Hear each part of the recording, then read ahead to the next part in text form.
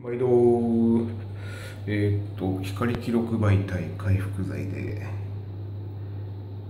ちょちょちょちょちょちょっと何滴かをティッシュに湿らせてコーティングします。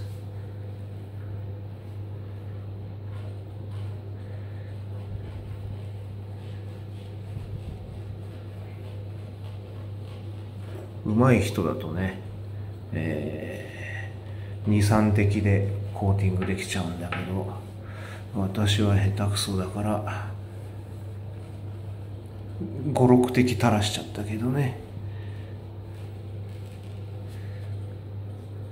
はい。えー、っとまたポタポタポタポタポタポタポタちょっといっぱい垂らしすぎちゃって。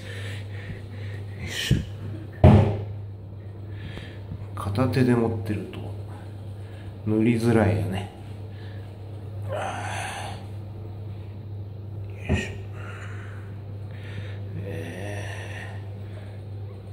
たくさん塗ればいいっていう問題じゃないんだよね。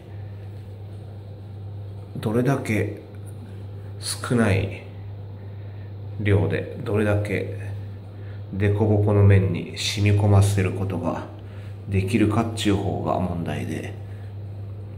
こんだけベタベタに塗るとねあの今度拭き取りが面倒だっていう。特にあのこういうの。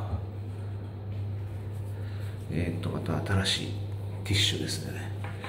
本当はねあのマイクロファイバータオルとかがあるとねいいですよね、うん、どこ写してんだかわかんねえよもうよいしょよいしょよいしょ。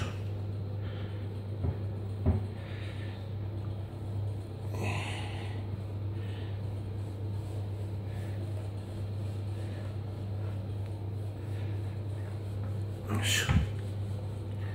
拭き取りはこんな簡単じゃないんですけどとりあえず1回切りますねで24時間様子を見ますこの粒々はもうガラスの向こう側だからしょうがないね取れないね。うんまあそんなことでとりあえず24時間後もう一回移します。